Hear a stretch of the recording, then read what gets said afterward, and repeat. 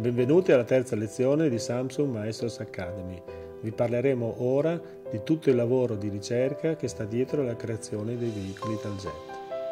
Tutti i nostri veicoli nascono da ispirazioni storiche.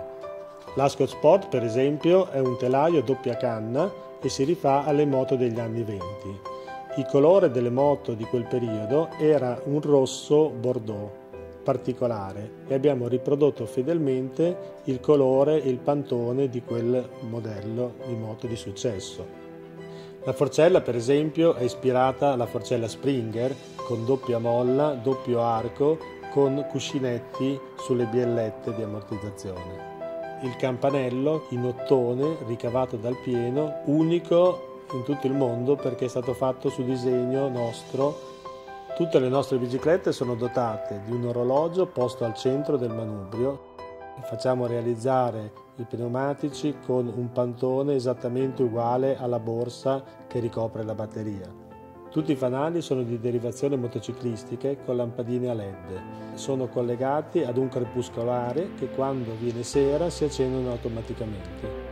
Un altro grande patrimonio dell'azienda è il database dei fornitori. Tutti i nostri fornitori sono certificati ISO 9001 e sono presenti sul territorio bolognese, salvo alcune eccezioni, per esempio i parafanghi, dove il nostro fornitore di riferimento è ad Assago, vicino a Milano, che produce parafanghi dal 1922. Quindi anche l'esperienza è una, una qualità molto importante che ricerchiamo nei nostri fornitori. La pelle è rigorosamente italiana, L'Italia infatti gode del primato mondiale a livello di qualità della pelle. Le molle sono fatte dalla Bomol di Sant'Agata Bolognese sotto nostro disegno e nostre indicazioni.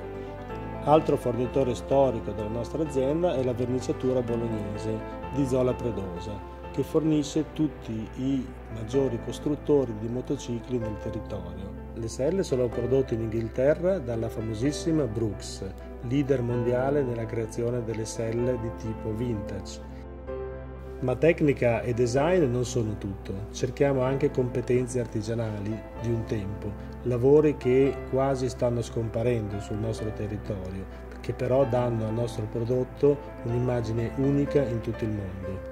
È il caso per esempio delle filettature che eh, vengono realizzate manualmente dal maestro artigiano Gigi che a 84 anni è in grado di compiere vere e proprie opere d'arte, dal sapore vintage come produceva negli anni 40 o 50 in piena attività.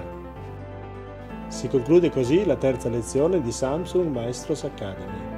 Nella prossima lezione vi parlerò di come tutti i nostri sforzi messi in campo fino ad oggi si concretizzeranno su un prototipo che sarà l'anteprima della produzione del prossimo veicolo.